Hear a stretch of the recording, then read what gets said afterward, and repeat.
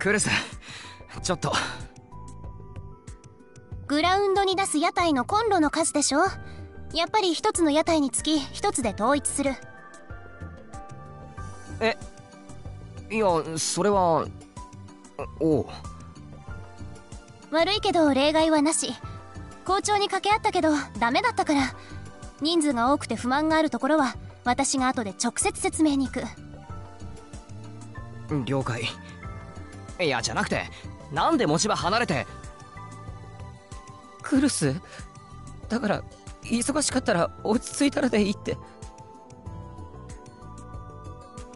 もう終わったから。ごめんね川原くん。急ぎなの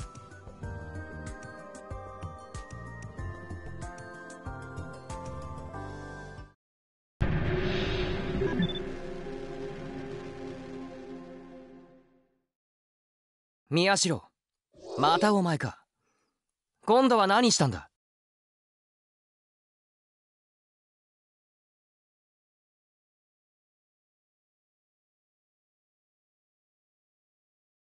いやいい。言わなくても分かってる。また例のくだらない記者ごっこだろ？それとも探偵気取りか？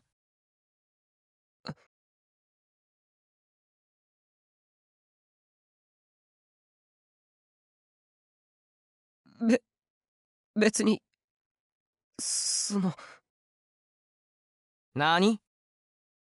か川原君に迷惑はかけてないと思いますけど。かかってるんだよ。クルスの時間が割かれると同じ生徒会の俺たち全員にな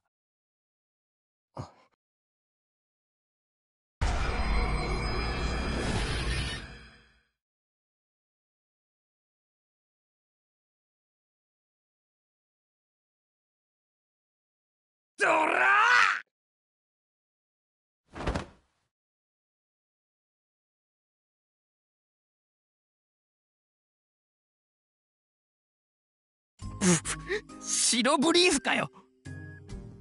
うわ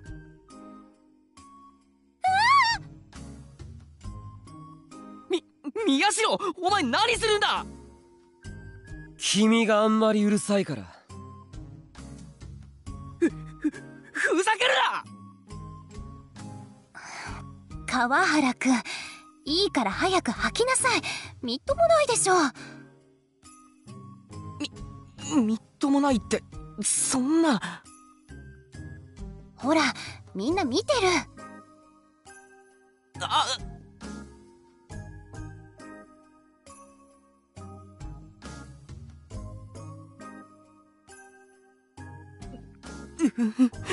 ひどい。ひどすぎる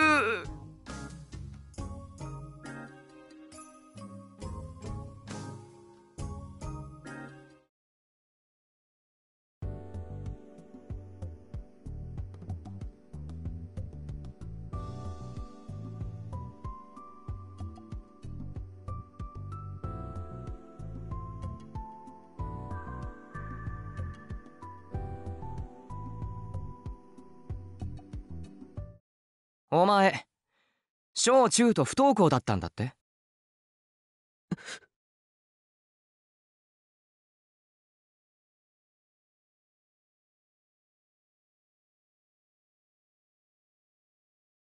川原くん急いでいるから。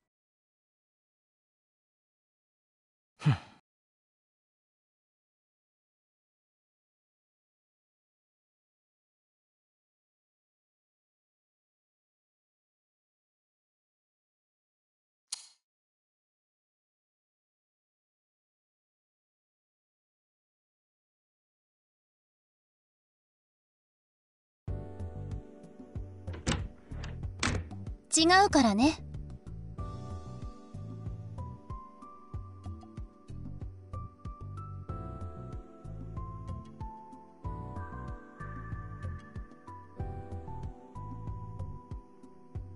何が？川原くんが言ってたこと。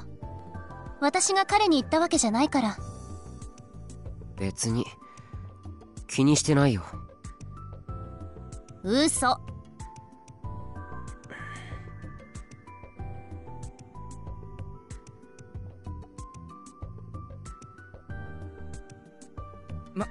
まあまあ。で何？副部長話があんでしょ？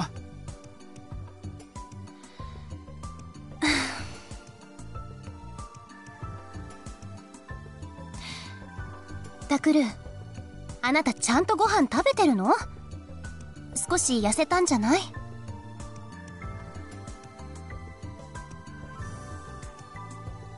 これからどんどん寒くなってくるでしょ？住んでるところの防寒対策とかちゃんとしてるんでしょうね。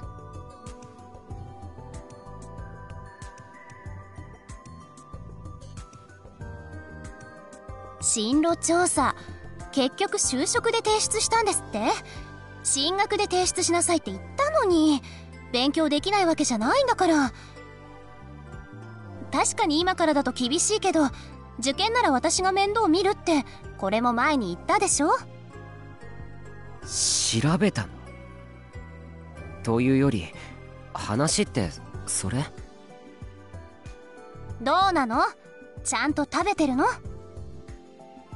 だ食べてるよ。大丈夫だって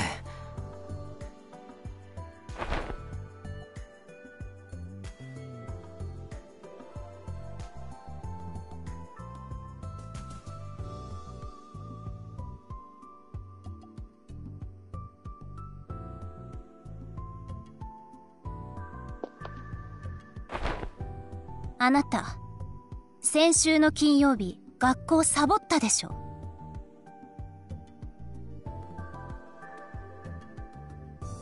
サボったよ。別に問題ないだろ。あるに決まってるでしょ？どこで何してたの？ストレージにアップした画像。あれを撮りに行ってたんじゃないの？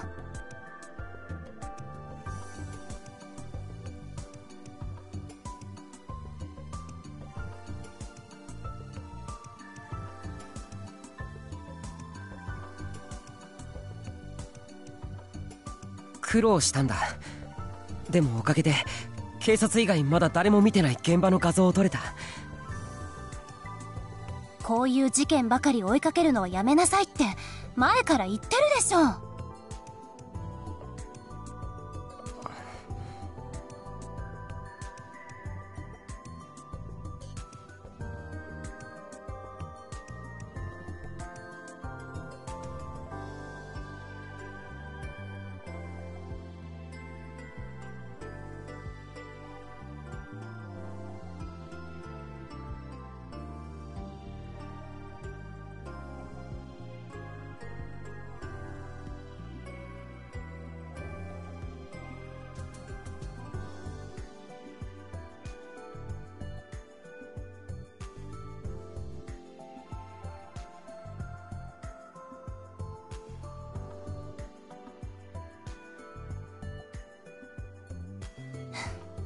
タクル今回あなたおかしい。学校をサボってまで事件を追うなんて今までなかったでしょ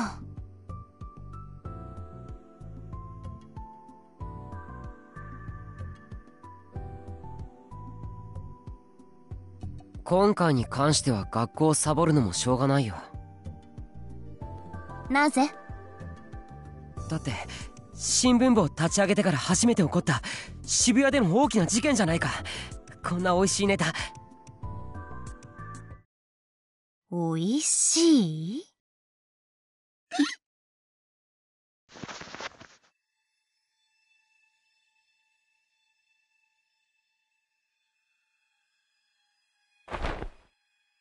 おい縦にすんなって。え？縦なの？てか副部長何その顔？おいしいですって人が死んでるっていうのに？ち違います。すいません。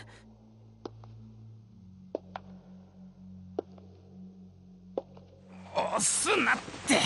ちょっと待ってマジで縦なの？やばいやばい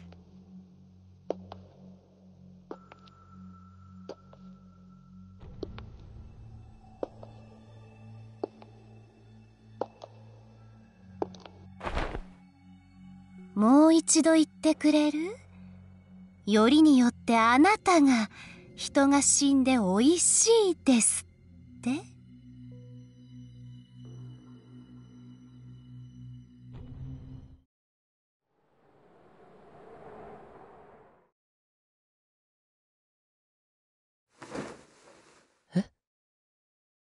あああ。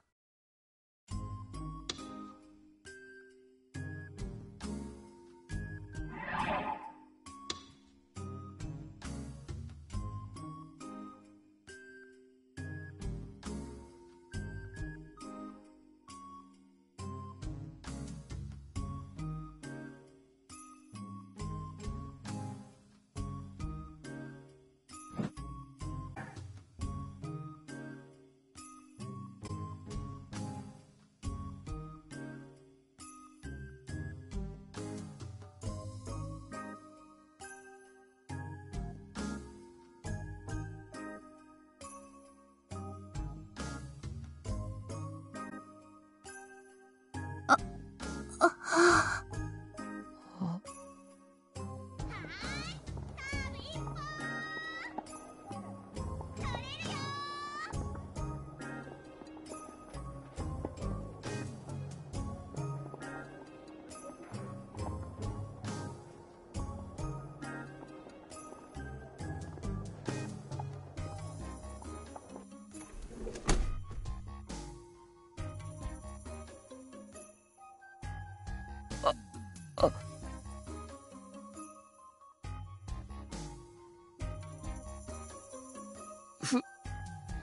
副部長？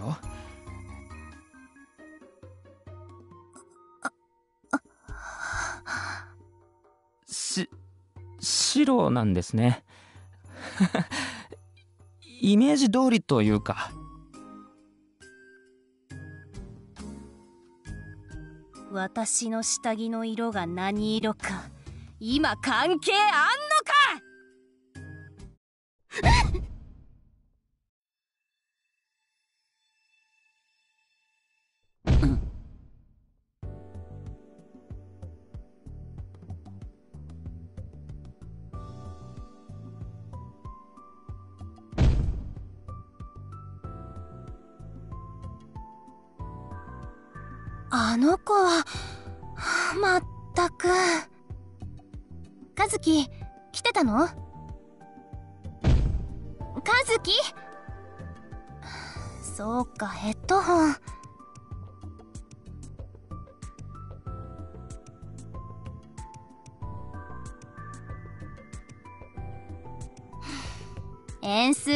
イラついたからって壁を殴るのはやめなさい。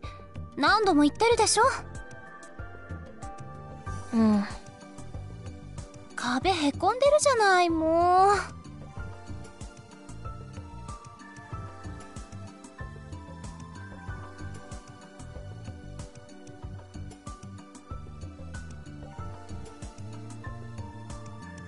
とにかく僕は事件を追う。発見があったんだ。もしかしたら大きな手がかりになるかもしれない。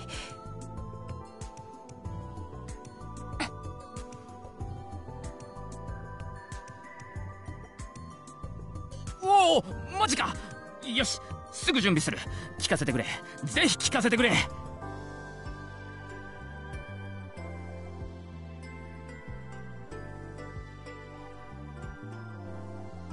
PC 立ち上げてストレージの画像プリントアウトしてくれ。了解だ！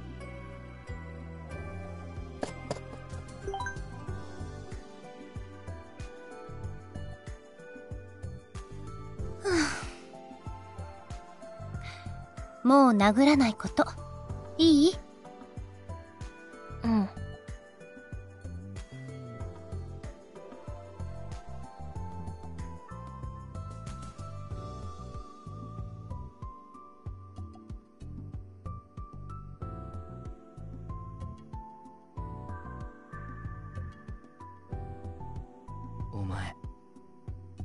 飯をおごれよ。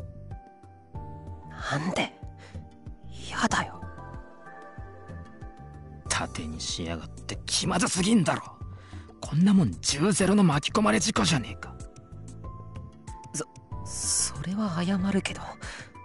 でも今回はまだマシだ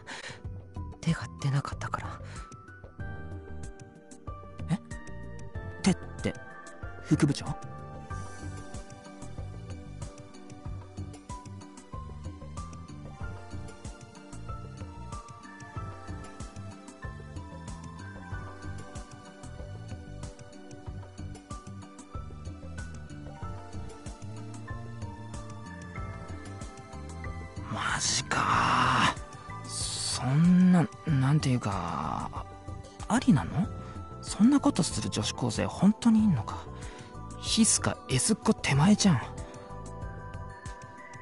ねえあなた方陰口は聞こえないように言えって言われないの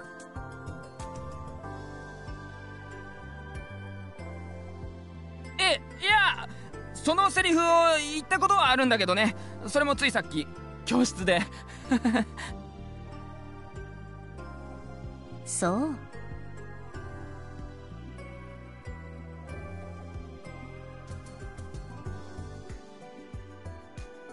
おごりだ。決定だ。大盛りにデザートだ。異論は認めん。高校じゃん今のは。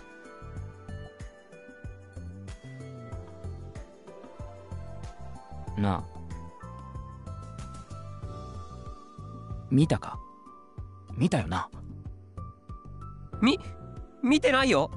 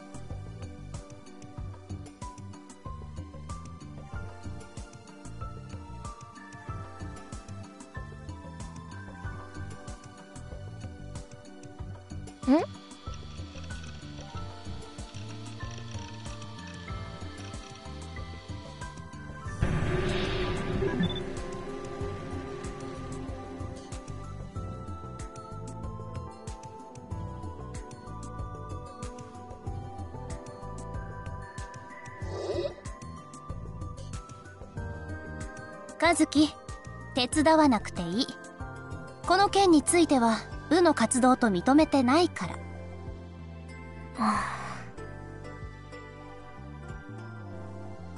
あっとあうん。そうなんだ。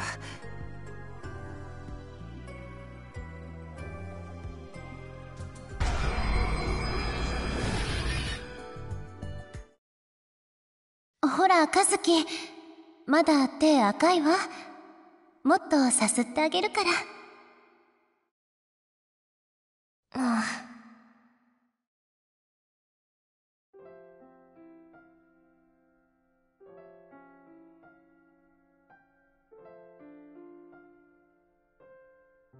痛かったでしょ？どうしてそんな無茶をするの？うん。どう？まだ痛い？痛いの痛いの飛んでけふん。カズキどうしたの？急に抱きついて。うん。まあ甘えん坊さんなんだから。あもしかして私がしばらく部室に来られなかったから寂しかったの？うんうん。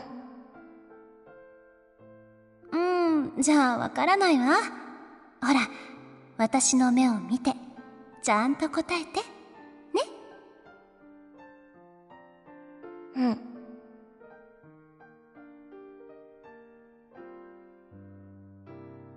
寂しかったんでしょ？違う？うん。照れちゃって可愛いのね。うん。ごめんね。寂しい思いさせて。でも安心して。今日はずっと和樹と一緒にいてあげるから。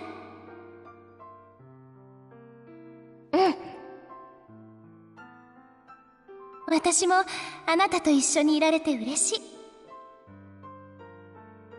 手の痛みはもう引いた？まだ？じゃあとっておきのおまじない。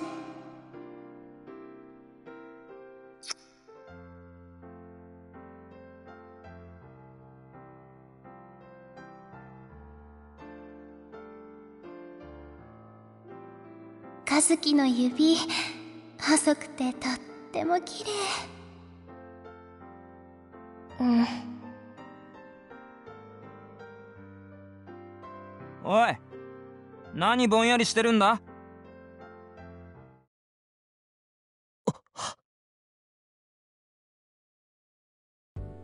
宮代？いや別に。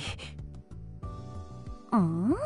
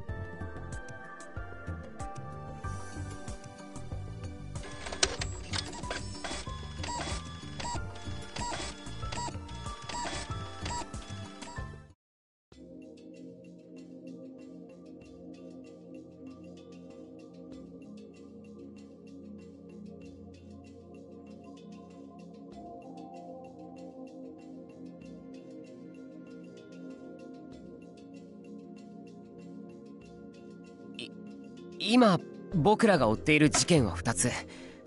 まず1つ目は今月の7日に起きたニコニア生放送公開自殺事件。通称こっちみんな。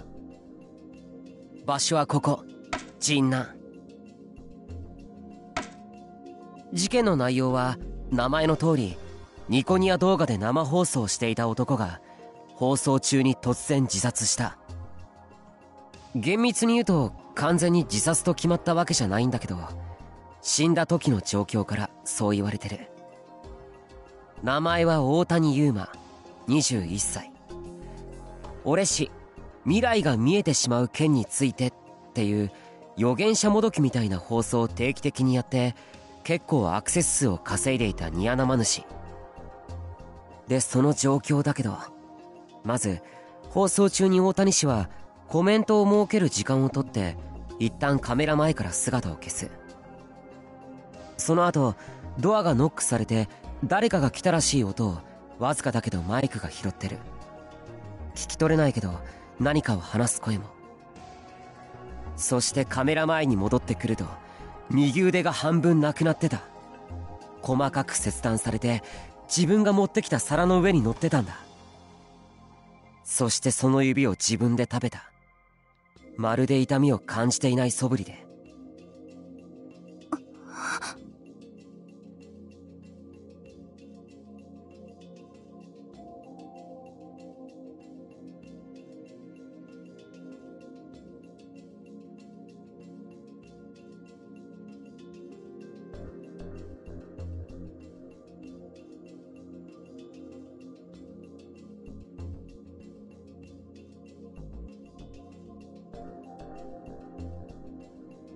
そして少し経ってからいきなり苦しみ出して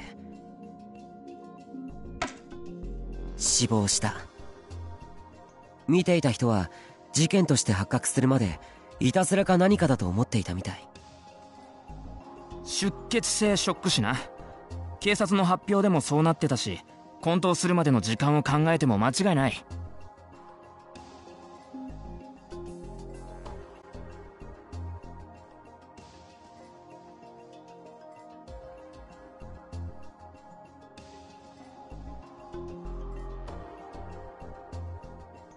何らかの理由で精神が錯乱した上での自殺って見解が濃厚らしいけど警察は自殺の直前に部屋を訪ねてきた誰かを探しているらしい。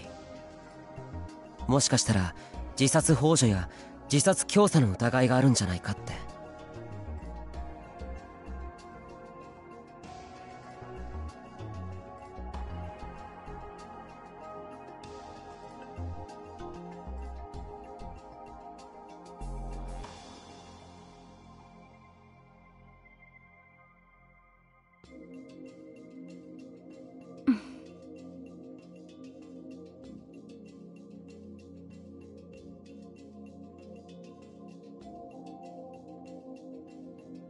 2つ目は19日に起きた事件。死体の状況から音漏れ炭っていう通称がついてる。場所はここ深セン。名前は高柳桃音。二十歳。ニコニアの歌ってみたの歌い手で最近ネットで有名になってきてるアニメソングのコピーバンドのボーカル。復興祭のステージで歌うことも決まってた。バンドの派手な衣装を着たまま一人でストリートライブもしていて晴れの日は毎日決まった場所決まった時間で演奏していたらしい。その日はいつもの場所にかなり遅刻して現れてライブを始めた。だけど何か様子がおかしかった。声が小さくていつもの感じじゃなかったらしい。そして結局ライブの最中に死亡した。こっちも失血死ライブを始める前からお腹を死傷していたんだ。妙なのがやっぱり遺体の状況で糸再生してくれ。おマ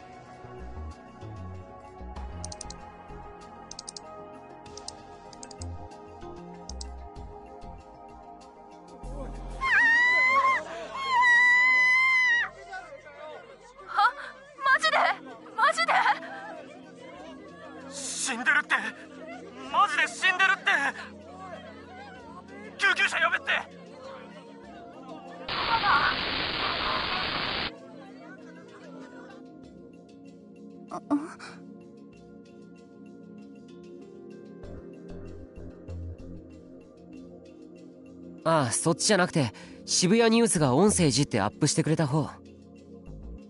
ああそっちだよな。えー、っと。マ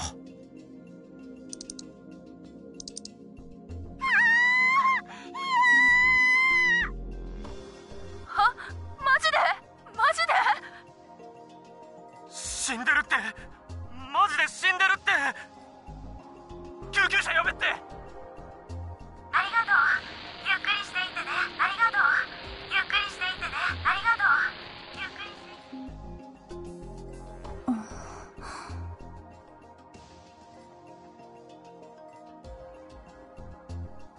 ありがとう。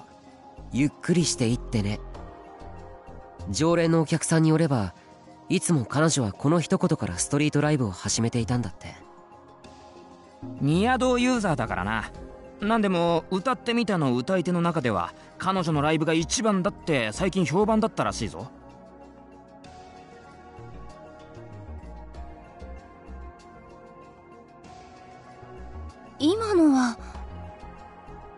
悲鳴は死体を発見したお客さんたちのもの。動画で撮っていた人がいたんだ。で今のは高柳さん自身の声でお腹に埋め込まれていた小型のスピーカーから聞こえてきたんだ。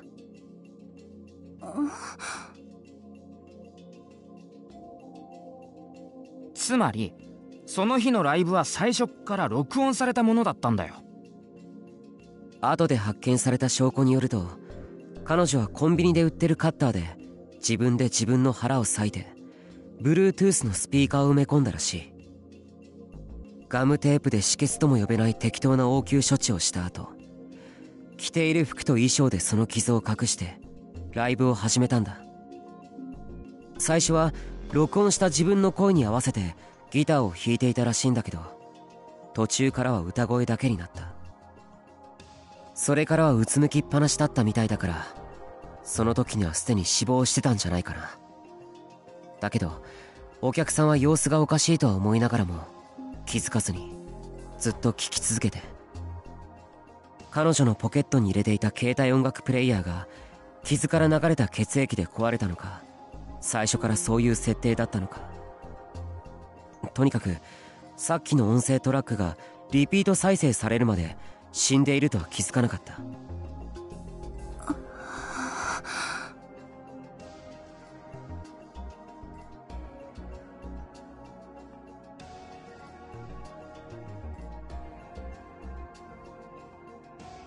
なすごいだろ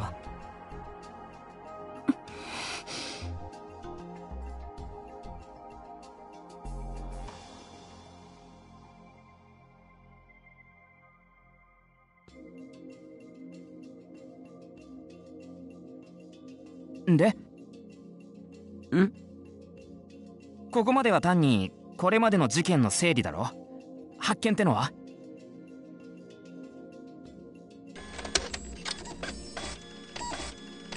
当然だけど両方とも事件の目的はわからない。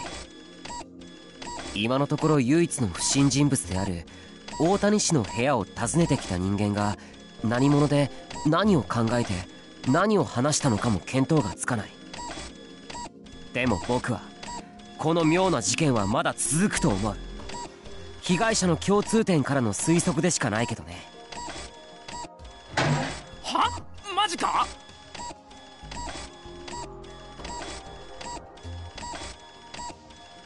共通点に関しては散々話し合ったろ。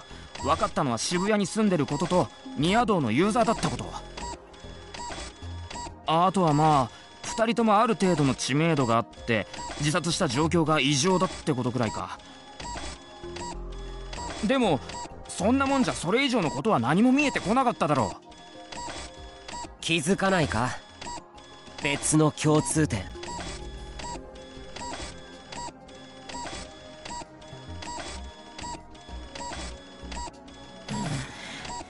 偉そうにしよってからに。そもそもこっちの気を引くようにプリントアウトしてるやつは何だ？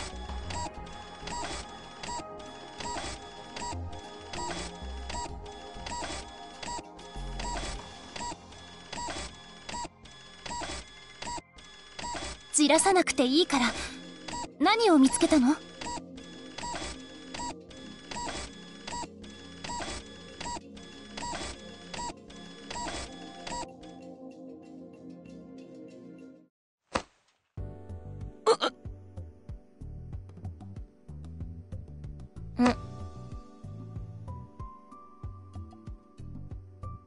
あありがとう。うん。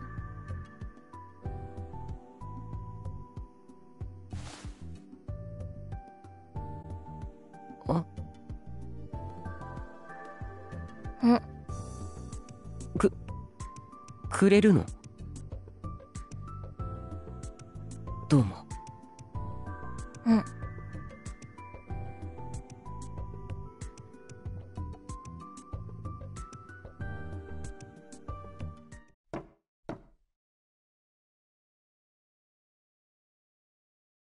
和樹どうした？うん。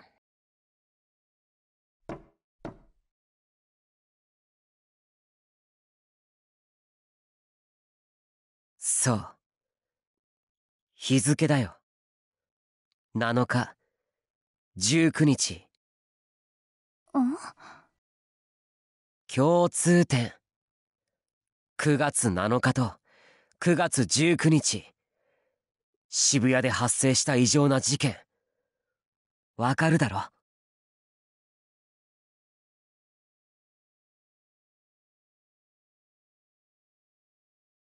あ。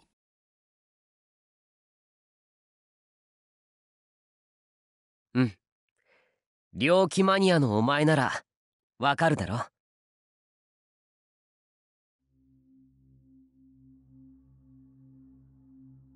9月7日集団ダイブ。9月19日妊娠男。9月29日貼り付け。10月10日ヴァンパイア。10月23日ノータリン。10月28日うまい手。11月4日ドキュンパズル。ニュージェネレーションの狂気。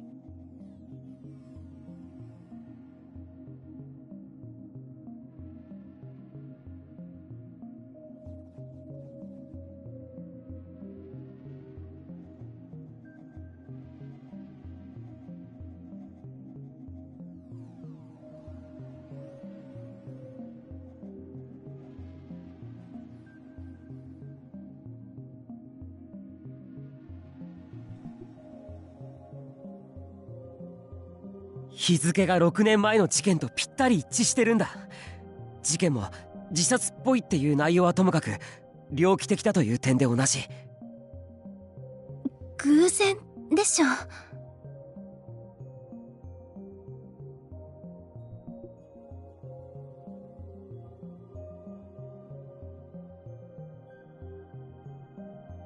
副部長？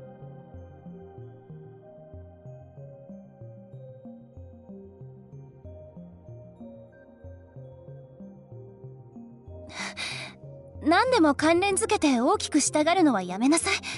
二つたまたま一致しただけでしょ。偶然かそうではないかはすぐにわかるよ。ニュージェネ第3の事件が起こったのは9月29日。つまり今日だ。もし今日渋谷でまた妙な事件が起こったらその時は間違いない。偶然が3つ続くなんて放っておける要素じゃないだろ。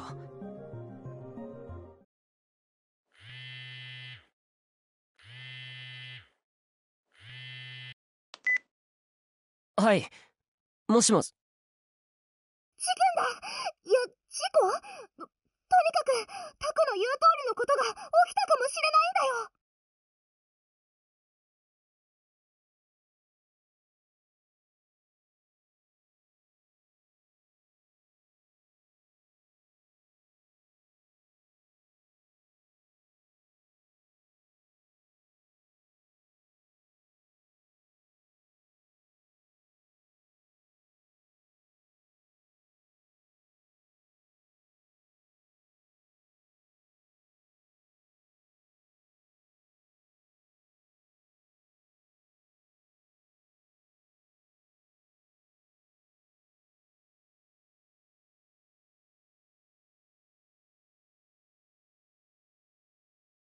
こっち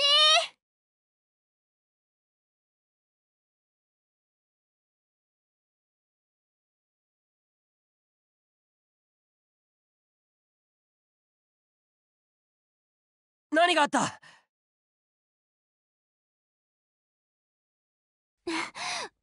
わかんない。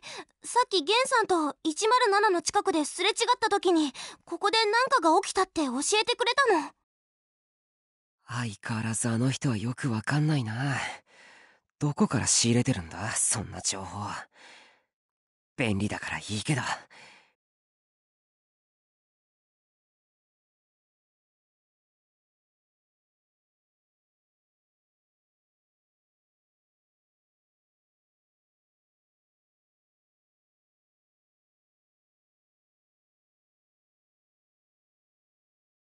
でも、大事なのは間違いないっぽいよ。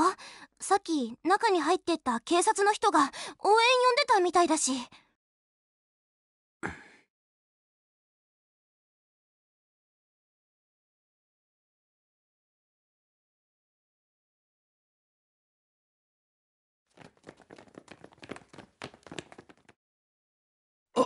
お前こういう時だけ足早いな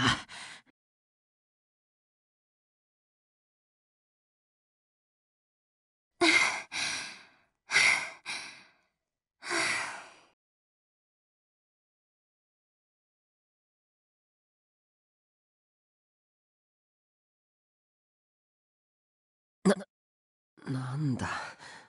クルスも来たのか。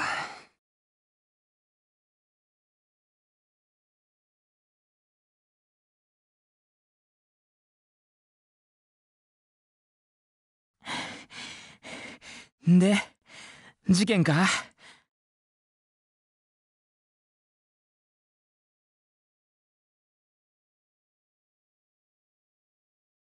なんだそりゃ。単に血は喧嘩かなんかで騒ぎになったんじゃねえの？それだけでわざわざ応援なんて呼ぶか？それに、今日は29日なんだぞ。だから、気にしすぎだって言ってるでしょ？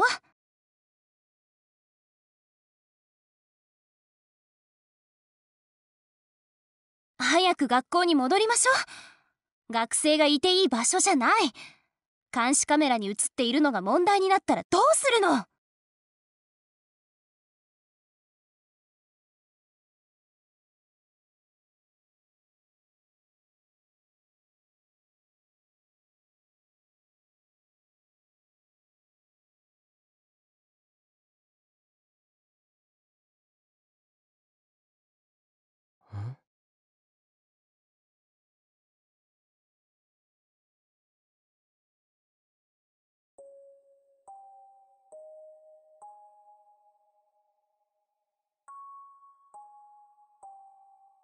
なあ。普通こういうとこって、窓開いてないもんだよな。ん？まあそうなんじゃねえの？使ったことなんかねえからわかんねえけど。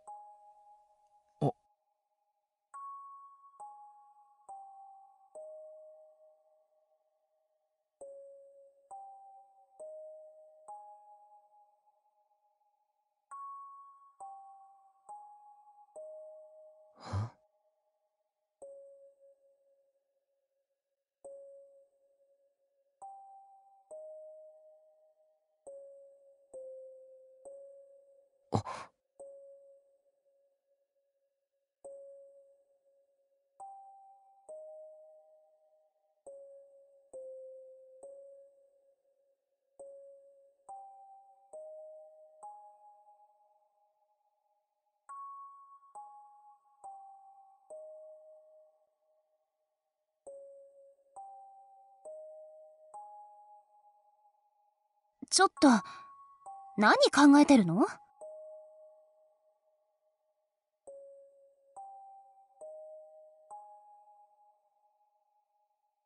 バレないように中に入れれば。あ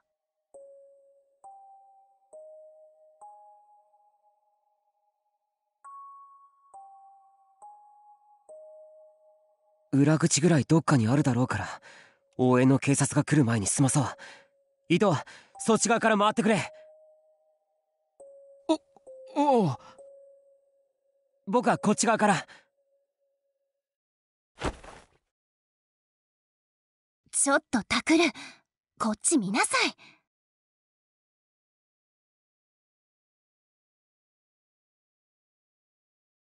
ダメ。こんなの部活の範疇じゃないでしょ。私の言うことが聞けないの？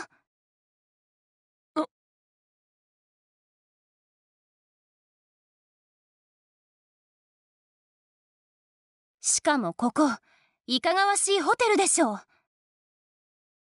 それに、もし妙なことに巻き込まれたらどうするの？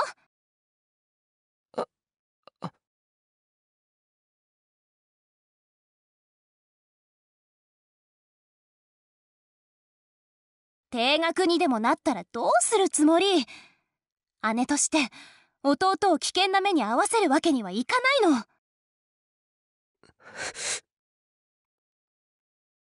弟というか、家族でも何でもないじゃんか。僕たちは。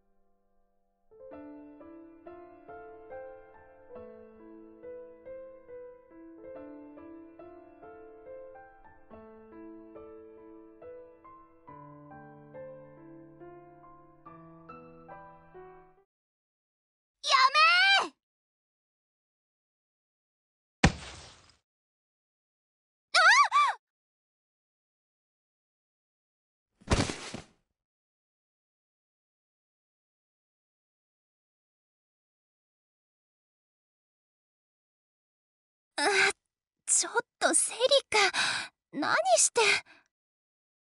喧嘩はダメだよのんちゃん。たく5人でみんな仲良くが新聞部のモットーでしょ？しんちゃんも止めなきゃダメじゃん。いやつうかどこ行ってたんだ？ああそうだ喧嘩してる場合じゃないんだよたく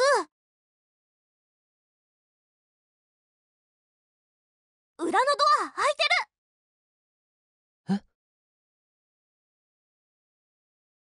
喉乾いて自販機なくてホテルの中ならあるだろうと思って裏のドア見つけて開けて中入って自販機やってさすが妖精のダンスじゃんやるじゃんって思って買って一気飲みしてたらあれって。んだよそれお前いつも後先考えずに突き進むよな。タクどうするの？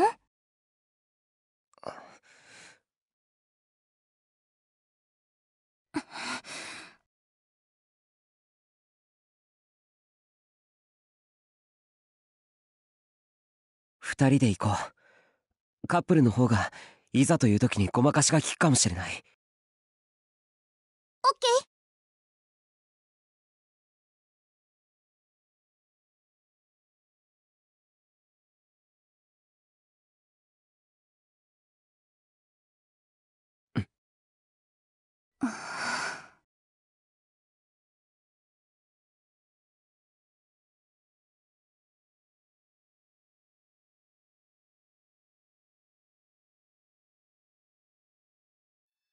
階段向こうなんだけどな。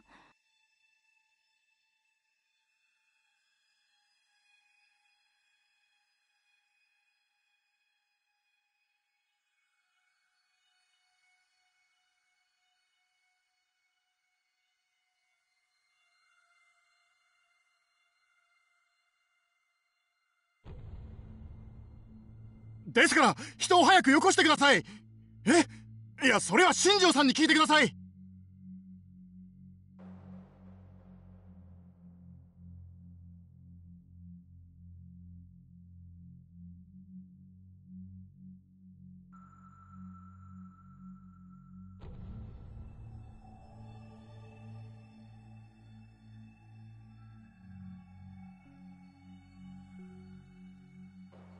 はい。それは間違いありません。確認しました。ですがこちらでは判断が。いえですからそういう状態じゃないんです。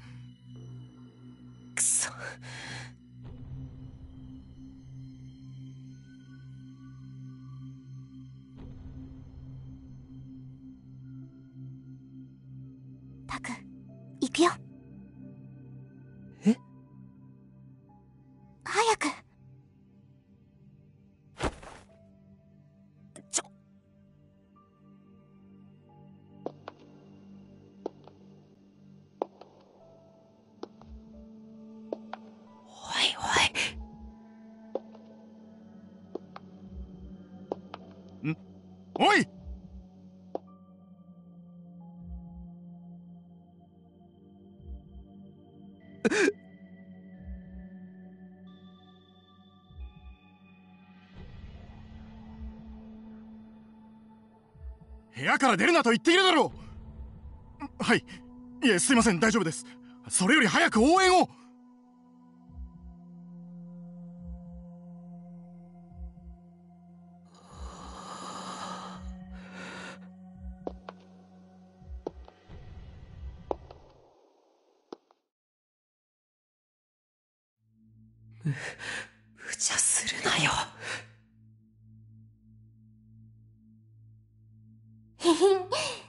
もタクの言った通りだったじゃん。ごまかせたごまかせた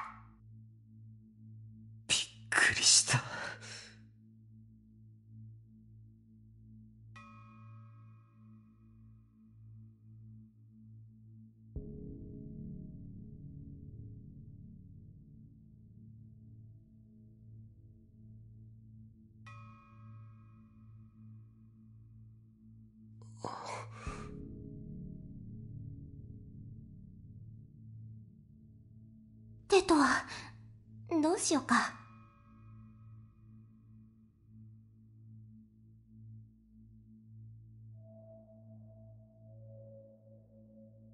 外から見たあの場所が現場かどうかはわからないけどとりあえず3階から当たろう。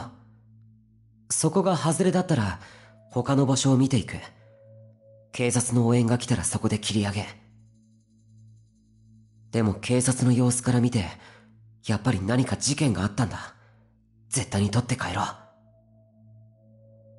オッケー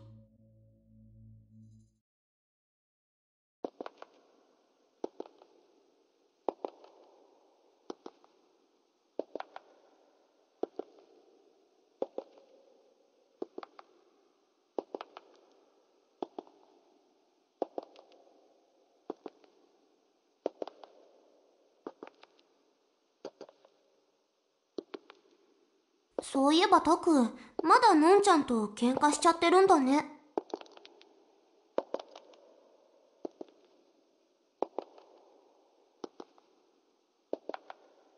喧嘩ってわけじゃないよ。でもまだクルスって呼んでるんでしょ？気持ちはわかるけど、なんとかならないかな？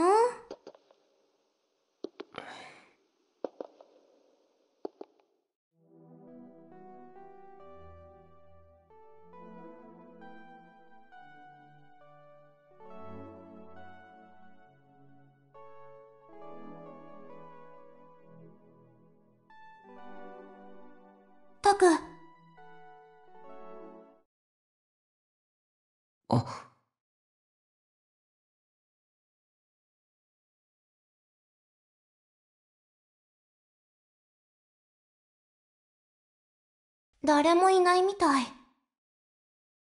よし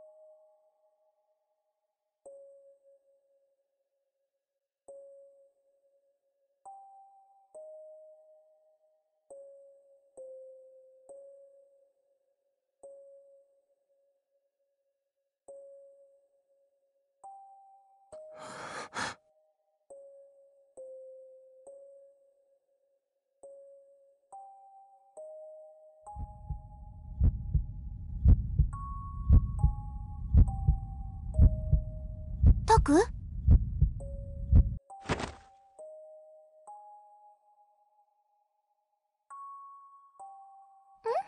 うしたの？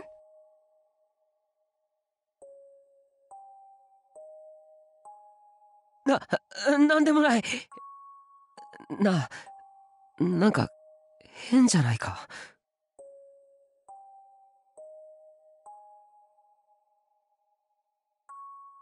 そりゃ、暗いからなんか不気味だけど、雰囲気作りとかじゃないの？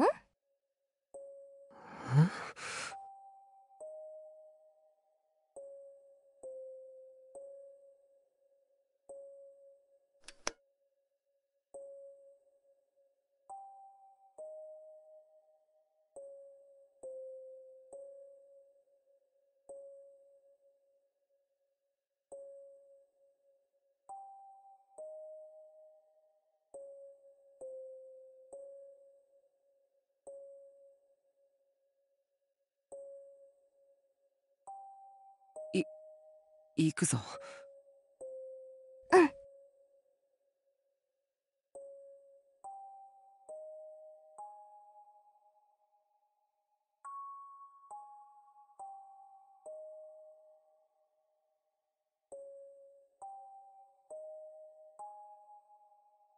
あの二つのどちらかかな。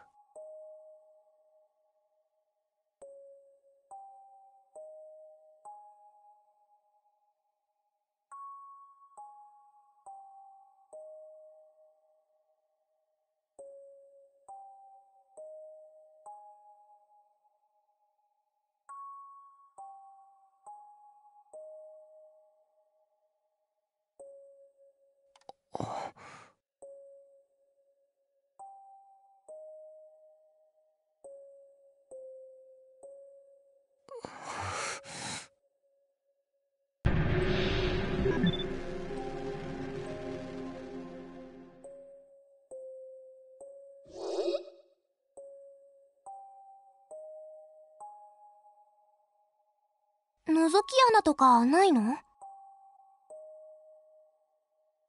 ここはラブホテルだぞ。ああそっか。おい何を？ノック。お前な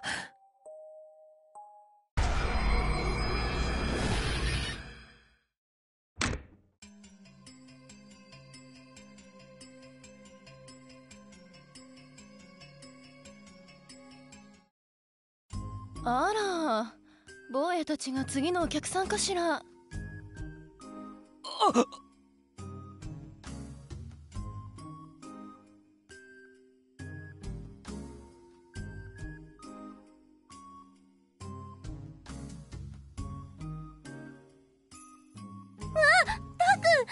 ちゃダかわいいお客さんね。入ってあいえ。メそういうんじゃないんで。いいのよ。お嬢さんも一緒でも。え？すっごく気持ちよくさせてあげる。だからおいで。トクどうしよう。お前なんでちょっと入る気になってるんだ？だって。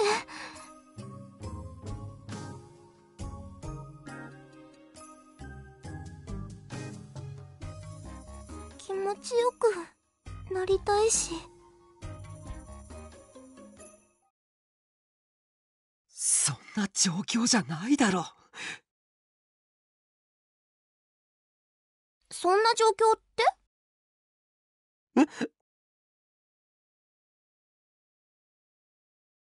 いやなんでもない。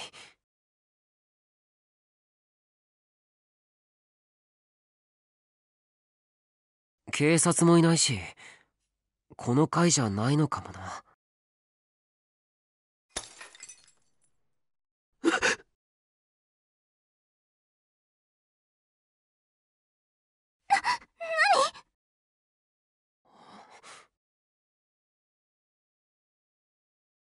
隣からだったよな。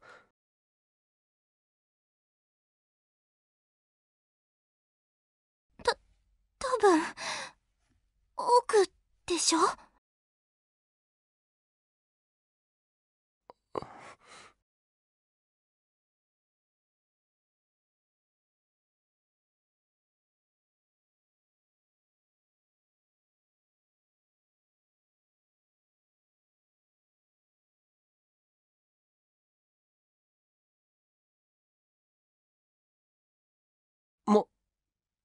戻った方がいいか。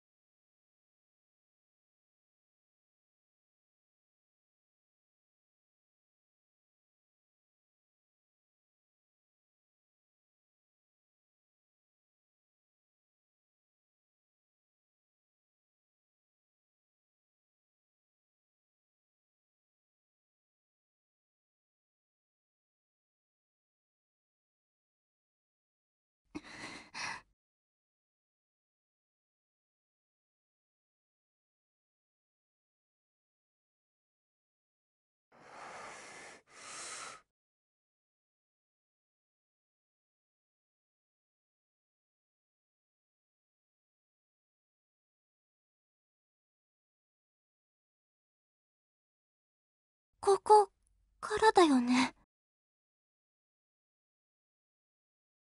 多分。な。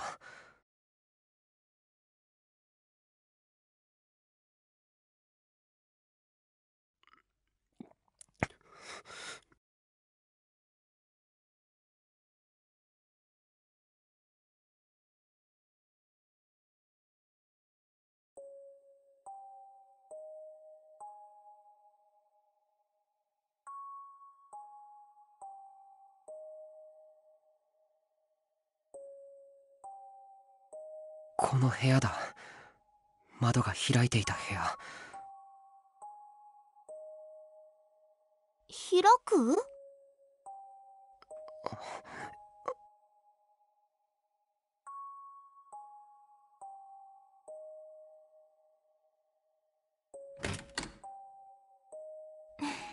ダメ。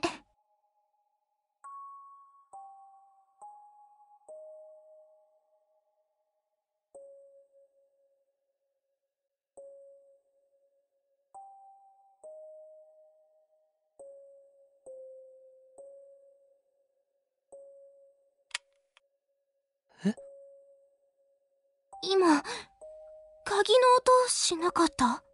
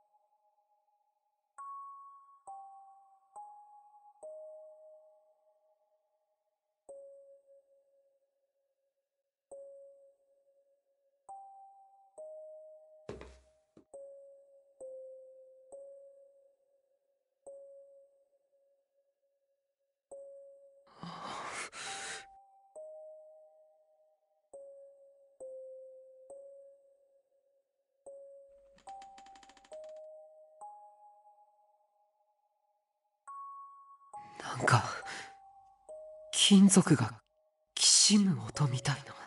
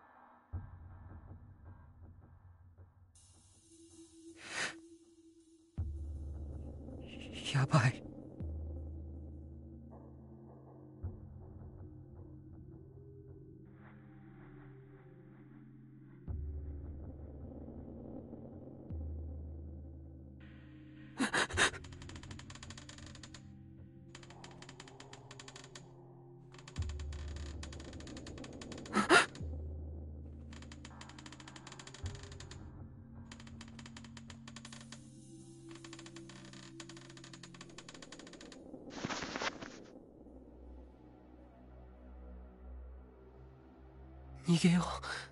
早く。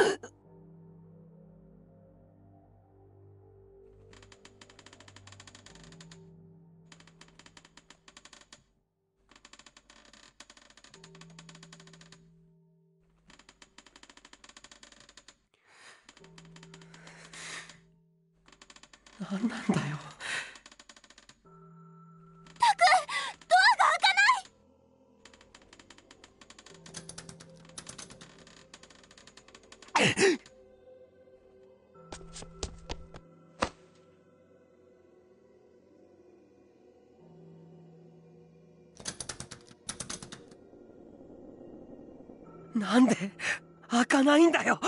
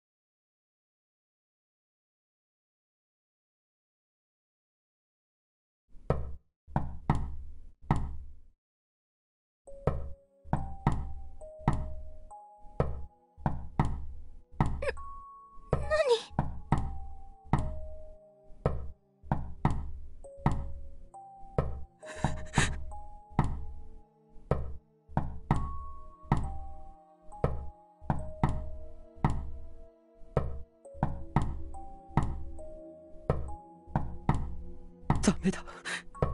ダメだ。